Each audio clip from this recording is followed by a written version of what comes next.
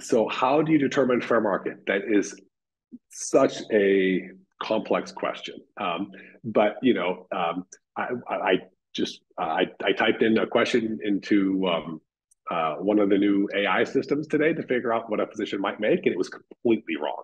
So how an AI system might generate what fair market is might be different than what MGMA would say, which is different than Sullivan Cotter or different than AMGA.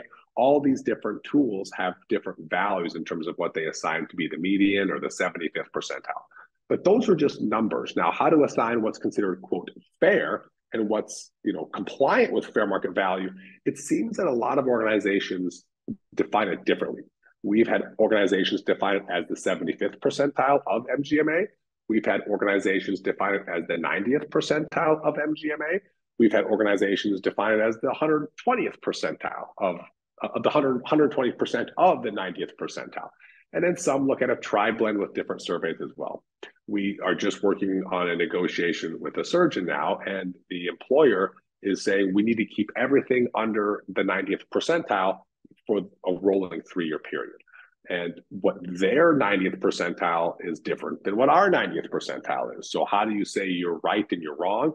It's a very interesting question. And I don't know if there's ever like a like a copy paste answer for all the physicians out there, but I do think it's important that they understand what their value is, whether that's finding data with MGMA or, you know, which is still delayed. I mean, we've it's, you know, um, it's you know early 2023 and we're still using 2021 MGMA data. So you know the data is delayed, even though it's you know branded the 2022 data set, it was captured in 2021. So there's a big delay in the data. So it's important that a physician gets get real time data.